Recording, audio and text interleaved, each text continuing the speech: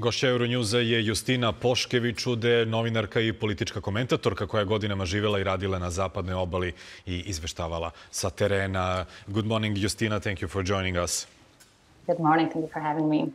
Uh, you lived in the West Bank. Živjeli ste na zapadnoj obali i poznajete Uh, region. Da li bi nešto ovako moglo da bude e, sprečeno ili da li je neko mogao da predvidi? Hvala na pitanju iz mog ličnog iskustva. Ja sam shvatila koliko se stvari tamo dešava, a nije izvešteno u mainstream uh, medijima i hvala i zbog toga što ste me pozvali. Odgovor na vaše pitanje je i good that i jasno i dobro je da sada neki ljudi počinju da postavljaju pitanja, pošto su videli Hamasov napad prošle subote i vide odmazdu now. Izraela. And I would say Sada, sada je vreme da se postavi to pitanje. Šta je ono što se dešava sada? I ljudi se pitaju kako je uopšte došlo do toga, kako je Hamas uspeo da se probije kroz zid. A ja bih onda pitala zašto postoji zid, zašto su ljudi zatvoreni u Gazi. Know, E, da se postavljaju pitanja Gaza o etničkom čišćenju. Sela oko Gaze su očišćena još ranije, pre nego što je osnovana very e, država. Izrael, kakva je okupacija na zapadnoj obali, zašto to se kolonisti tamo naseljavaju, što je zločin po međunarodnom prava. I to je jedna komplikovana istorija, zločin, pa onda novi zločin, nepravda i tako dalje. I e, ljudi jednostavno možda to sve nisu mogli da shvate, see, you ali know, evo in to moramo sve da sagledamo u smislu da li je ovo moglo da bude sprečeno i kako. Takođe, E, moramo da shvatimo dinamiku moći i vlasti. Ko je tamo okupator, a ko su ljudi pod okupacijom na zapadnoj obali i pod 60, 70 opsadom već in Gaza. 16-17 And to godina u Gazi. uh,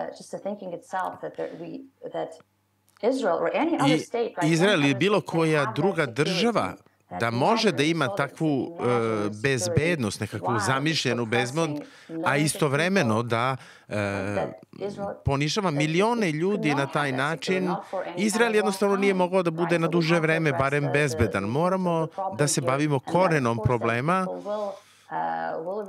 I naravno, ljudi su se pobunili, imaju pravo da pružaju otpor zbog onog što e, prolaze. Moramo naravno da osudimo format takvog e, otpora, ali ako pitamo e, sebi pitanje power ko to ima moć da to zaustavi i ko može da kaže hajde više da ne bude represije, onda hajde da napravimo jedno demokratsko i inkluzivno društvo za sve. Znamo koja je ta strana.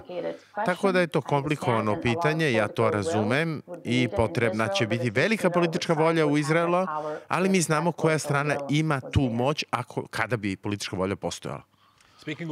Ako govorimo o moći, u ovom trenutku Izrael pokušava da se brani i to je nesporno. Međutim, a, which nije it's sve being, jedno na koji uh, način se ta sila koristi. I to izaziva reakcije. Da li mislite da iz antiterorističke operacije sada uh, kreće jedna humanitarna katastrofa kakva se nije desila u tom regionu od 60-ih? Što se tiče prava na samoodbranu Izrela, to je jako dobro pitanje za pravnike. Jer opet govorimo o okupatoru i okupiranom i sad šta kaže međunarodno pravo o tome ko ima pravo da se brani od toga. Tako da je dobro što ste to pomenuli. To se mora dekonstruisati na neki način. U Gazi, kada govorimo o humanitarnoj katastrofi, takav je život za palestince u Gazi već unazad 16-17 godina. I sve velike organizacije zaštitu ljudska prava i agencije kažu da se u Gazi ne može živjeti, da je voda zagađena. Puno izveštaja je izašlo uz, koji opisuju tu bedu. Ja se slažem, moramo da razgovaramo o humanitarnoj katastrofi, ali moramo da kažemo da je o tome moglo da se priča još pre mnogo godina kada je to krenulo da se dešava. Sad je već katastrofa, tako da mi je drago što ste postavili to pitanje. Što se tiče borbe protiv terorizma, moramo da shvatimo da ako se samo fokusiramo na ono što je Hamas uradio i trebalo bi o tome da pričamo naravno, To je simptom, to nije bolest. Simptom jedne bolesti. I ukoliko je bolest ta da ljudi će počiniti užasne zločine kada ih e, držite pod nekim uslovima i u bedi, i naravno znamo da je ta beda to plodno tle iz, iz kojeg to proističe, Misliti da e, sada može to sve da se izbombarduje, da se e, zbrišu kao ideologije i tako dalje, jer a znamo na šta je bila ta reakcija na patnju, na sve što je Izrael nametnuo Gazi, Zašto bismo onda... I, I to siromaštvo je došlo, pošto se Izrael povukao 2006. i 2007. i ostavio narodu Gazi da izglasaju svoju vladu i oni su odabrali Hamas. Ko je onda odgovoran za to siromaštvo i za te uslove? To je dobro pitanje. Ako pogledamo širi kontekst, Izrael kaže mi nismo u Gazi, mi smo odustali, ništa ne kontrolišemo, međutim kontroliše te uh, kopnene granice i Egipat kontroliše jednu E, jedna od granica, kontrolišete i vazdušni prostor, ali neko bi pomislao dobro, Gaza ima Mediteransko more, međutim i more kontroliše Izrael. Znači ako neko želi da ode brodom iz Gaze, napadne vas napadnu vas izraelski brodovi. Tako da postoji i kontrola. Kontroliše se voda, hrana, ra, e, različite namirnice, sve je to pod kontrolom Izraela. Granica koju Izrael ima sa Gazom, na primjer, to nije međunarodna granica. Palestina nije suverena država i čak i kada Netanjahu ide u jedne nacije i pokazuje kartu Izraela, uopšte ne stoji ni e, Palestina. I sad reći da Izrael ne kontrolišu gazu i šta se tamo dešava, to je jednostavno netačno.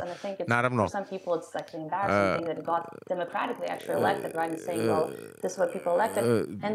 ljudi kažu Hamas je izabran. I naravno, tu ima neke autonomije, ljudi imaju određenu samostalnost, ima toga za narod,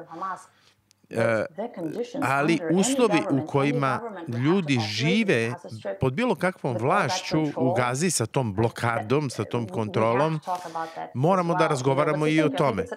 Mislim da je to sve jedno dobro pitanje i mora se o tome pričati. Hvala vam na to pitanje. Justina Pošković, thank you for joining our program. Well, thank you so much for having me.